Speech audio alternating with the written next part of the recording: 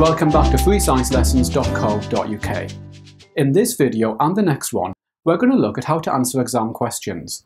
If you follow my advice, you'll gain extra marks.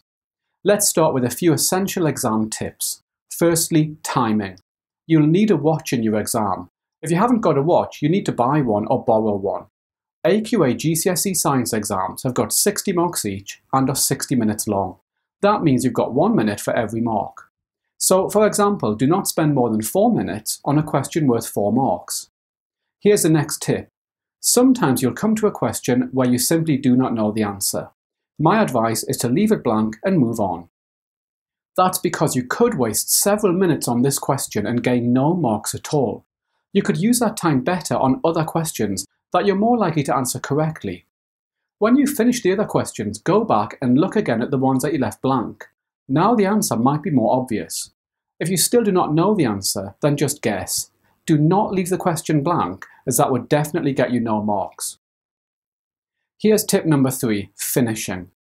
When I'm in the exam hall, I often see students who finished and they close their papers, even when they have loads of time left.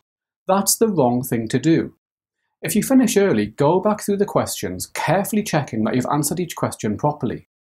I'd suggest checking the last question first as the questions get harder towards the end of the paper. Have you really answered what the question is asking?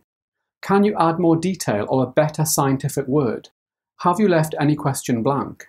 You could easily find that you pick up a couple of marks by doing this. Here's tip number four.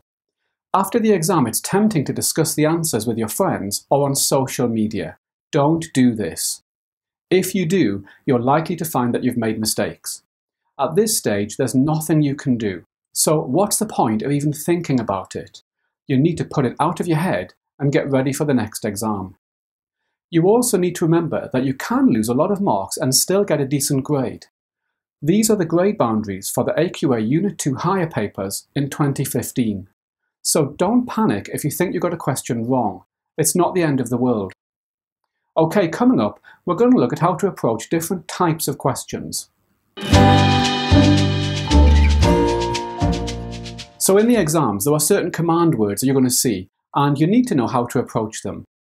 The first command word is state. This requires you to simply give a fact. You're not expected to explain why. Here's an example. State what's meant by an exothermic reaction.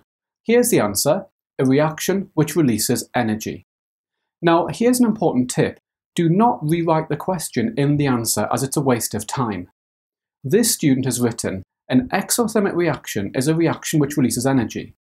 This is a correct answer, but they've wasted time rewriting the question.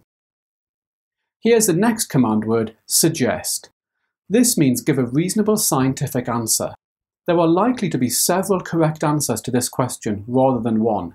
Here's an example. Suggest why the use of biofuels is increasing. There are several possible answers here. For example, fossil fuels are running out. Biofuels are more carbon neutral than fossil fuels. Biofuels may be cheaper. Here's the next command word, describe. This means state the features of something, for example a graph or a table or even a scientific process. Here's a typical question. Describe how the amount of glucose produced depends on the temperature, and the question has given you a graph to work with. So we have to state the features of this graph we can see that the amount of glucose produced increased from 0 grams at 0 degrees Celsius, reaching a maximum of 4 grams at 40 degrees Celsius.